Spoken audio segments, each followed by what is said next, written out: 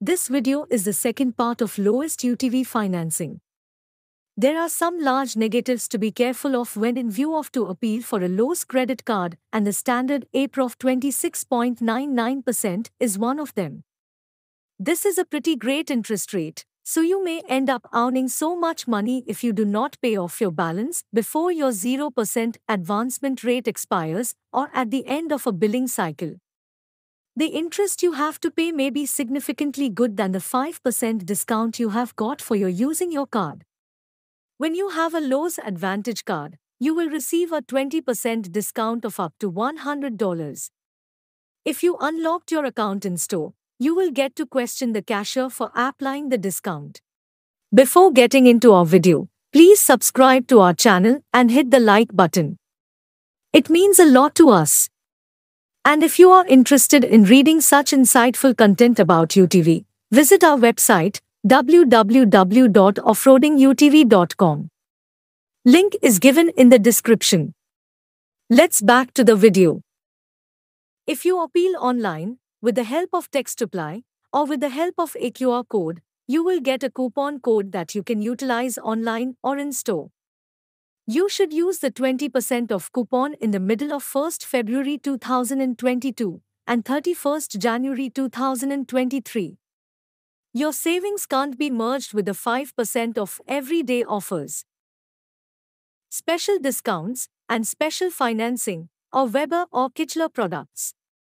Lowe's UTV financing project can be dangerous option. Project financing can also pose a like danger of not being a financial alternative, considering your interest may go back up to the standard APR if you miss a constant monthly payment.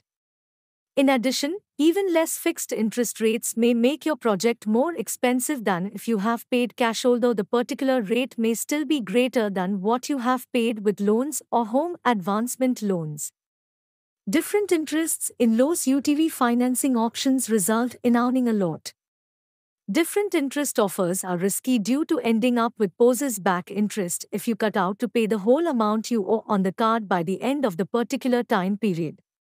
For example, if you have borrowed $1,500 through your Lowe's card, certify for 0% interest for 6 months, and have not paid the loan off in whole, you will get back interest at 26.99% on the $1,500 at 26.99% 6 months dating back, which may be around $200 in back interest costs. For complete detail about this topic go and check our website link given in the description. For what Lowe's Advantage credit card is best?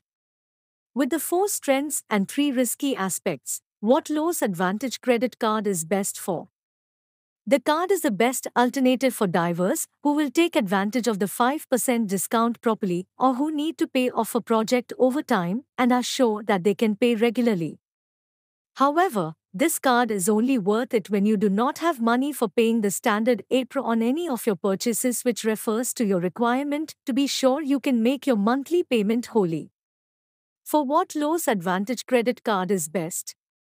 The Home Depot credit card doesn't offer the same type of 5% discount on all types of purchases that the Lowe's card does. It is best option to select Lowe's for getting this card if you have a lot of home advancements projects scheduled and both stores are present in every area.